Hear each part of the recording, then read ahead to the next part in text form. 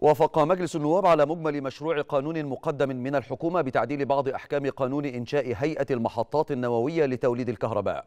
كما تمت الموافقة على مجمل مشروع القانون المقدم من الحكومة بتعديل بعض أحكام القانون رقم 8 لسنة 2009 بشأن حماية المخطوطات.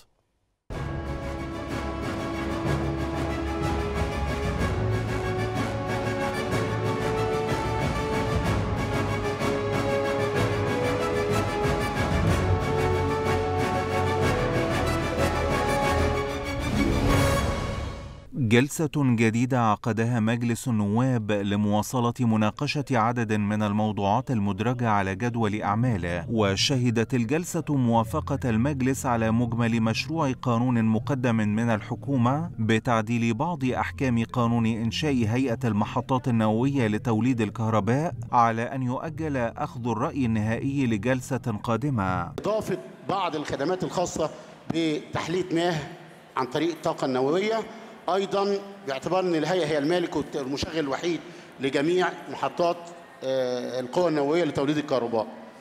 أيضا نص على قانون إنشاء الهيئة على أنها تجيز نقل أو ندب أو إعارة العاملين بالهيئة للجهاز الإداري بالدولة ودي فقرة أخيرة كانت مش موجود ليها.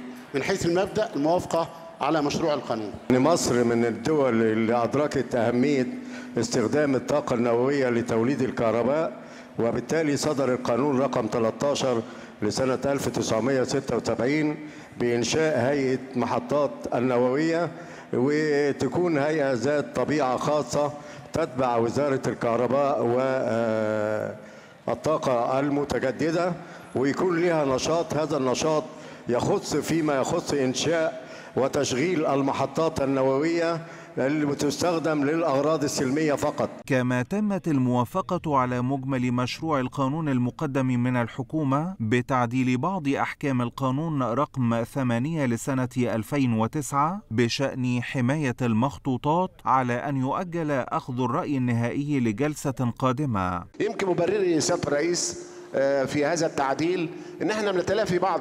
الأشكاليات القانونية في هذه المادة ويمكن أبرزها تحديد المختص بترشيح الخبراء وممثلي المكتبات والوزارات المعنية وتحديد أيضا المختص بتعيين رئيس اللجنة وكذا المختص بوضع نظام وقواعد عمل اللجنة. ده الهدف من هذا التعديل سيادة الرئيس. وهكذا يواصل مجلس النواب مهامه وأداء دوره الرقابي والنيابي لصالح الدولة والمجتمع.